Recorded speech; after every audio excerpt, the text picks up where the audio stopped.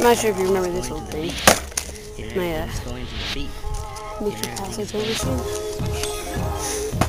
Since I broke my stereo. So maybe I should.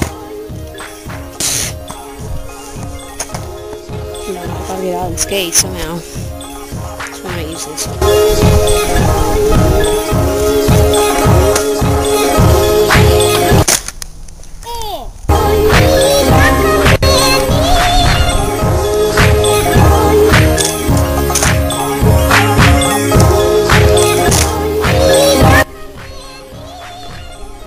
Christmas now.